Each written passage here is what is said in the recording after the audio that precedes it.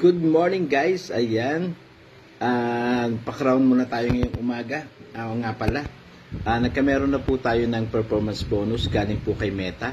At ah, very, ano po, very helpful kasi ah, ilang days pa lang po ay marami na po siyang nabibigay na dollars. Kaya kung ah, meron po kayo o na-invite po kayo sa performance bonus, ito po ang inyong dapat gawin. Mag-upload po kayo ng original ah, picture.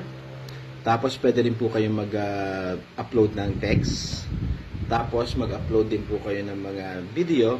Pero hindi po yun nasa Reels kasi hindi po kasama sa Reels yung sa Reels dun sa performance bonus. And i-remind ko lang po din sa inyo na itong performance bonus ay by invite lang po.